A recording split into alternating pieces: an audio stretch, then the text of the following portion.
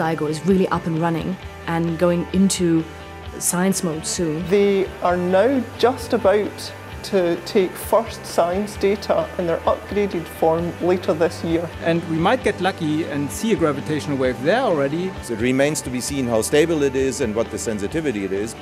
Um, but things are looking good. It's a more and more exciting time.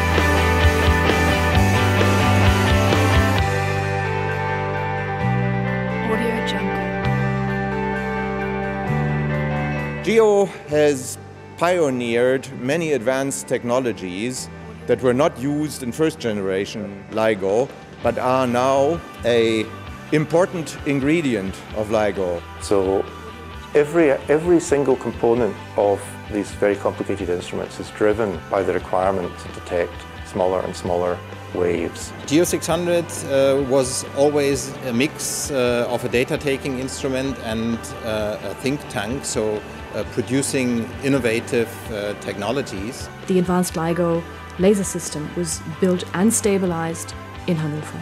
So the so-called monolithic suspensions of the mirrors. Make the glass wires, cool them using a carbon dioxide laser, welding all the glass pieces together, and basically the construction of the, the heart of the interferometer. An advanced LIGO basically takes a scaled up version of what we have in GEO. There's a technique called signal recycling, which was developed in Glasgow and tested at the GEO detector.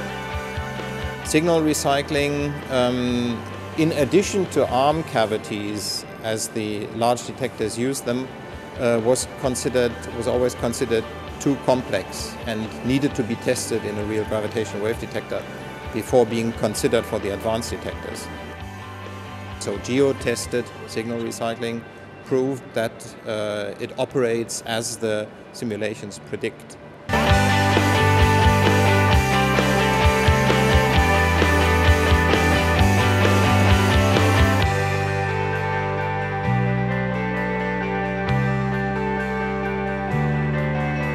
Gravitational wave research is a wonderful example of worldwide collaboration. That includes groups from the US, obviously it's a US uh, project, but it also includes groups in the UK and Germany. Australia, Italy. So the LIGO Scientific Collaboration is a collection of around 900 scientists who are all working together. Scientists who help to design and are helping to build, commission and analyse the data from the LIGO detectors. It's a mixture of working on site um, and lots and lots of time spent on, um, on the telephone. Talking to people or making measurements and thinking about the next steps to do in finding noise sources.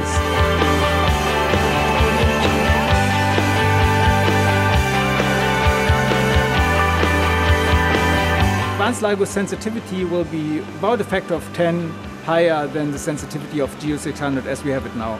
The 4 kilometers again, 600 meters, but very much higher laser power also. Advanced LIGO has a, a good chance to see gravitational waves, whereas in GEO you need a little bit more luck. Personally, I'm extremely excited and I would nearly say a little impatient because we're all waiting for gravitational waves and um, this is this is the time when we will be able to measure them.